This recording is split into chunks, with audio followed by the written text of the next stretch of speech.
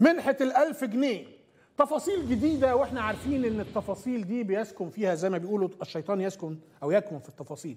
تفاصيل جديدة بشأن التسجيل والفئات المستحقة كبرت يعني كبرت في دماغي ومش هسيب الحكاية بقى. مش هنسيبها والله. إلا لما أشوف آخرتها إيه.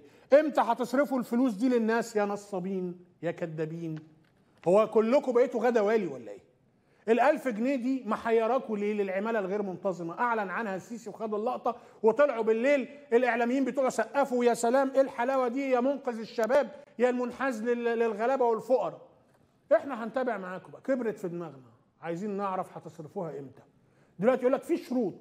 لازم تعمل مش هتلاقي نفسك الشروط دي تصرف عليها 700 800 جنيه عشان تجيب لهم ورق عشان تاخد في الآخر 1000 جنيه إذا خدتهم. طيب إحنا مكملين معاكم لحد ما نشوف اخرتها إيه مع الألف جنيه الجملي اللي ما بتستويش دي عاملة زي اللحمة الجملي تحطها على النار تصرف عليها غاز قد ثمن اللحمة أصلا. أنا آسف ده كان زمان دلوقتي مفيش حاجة بقت قد ثمن اللحمة في